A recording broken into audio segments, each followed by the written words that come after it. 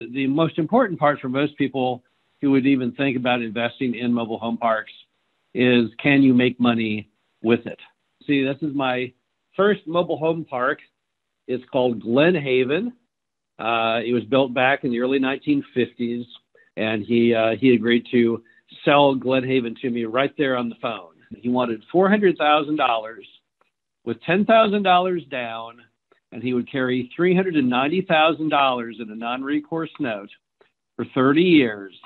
And the park came with 83 lots and two old dilapidated laundry buildings. And I knew about as much about Glen Haven and mobile home parks as you do probably at this moment, which was nothing.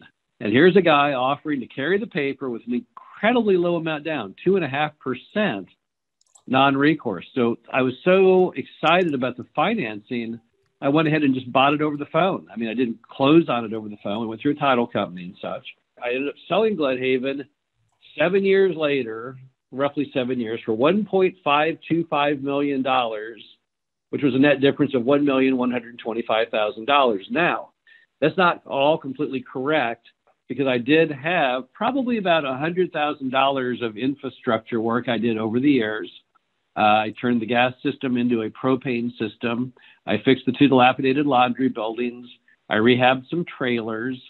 So, but but any way you cut it, uh, it was about a million dollars profitability on that one deal. Uh, you know that that was in fact years ago, and there are some sectors of real estate where things were really good years ago, but now they're not so great. So maybe this was that one, you know. But let's when we sold just recently, and it's called North Lamar Mobile Home Park. Park was 68 lots, and bought it for about two million dollars. So a lot more than I paid for Glen Haven. But of course, you're in Austin, Texas, and you can't really compare Austin, Texas to southern Dallas.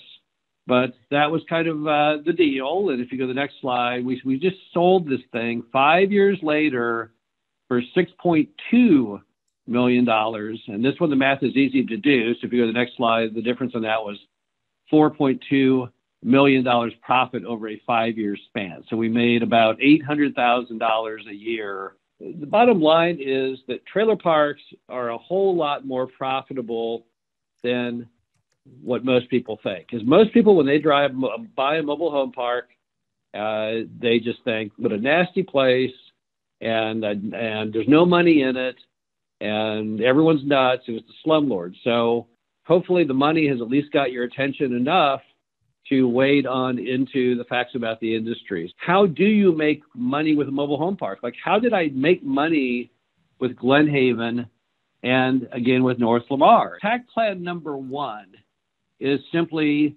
increase the lot rents. Attack plan number two make the tenants pay their own water sewer by installing meters. The number one largest cost line item we have in the mobile home park industry is water and sewer.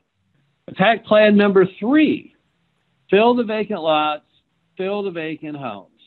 Because every lot I fill and every home I fill with a good paying tenant. Attack plan number four make the property look better. Every time I make a park look better, my value goes up. And my value goes up in terms of a lower cap rate. So the appraiser will assess it at a lower cap rate, saying, ooh, this is a more quality property. This is worthy of more debt.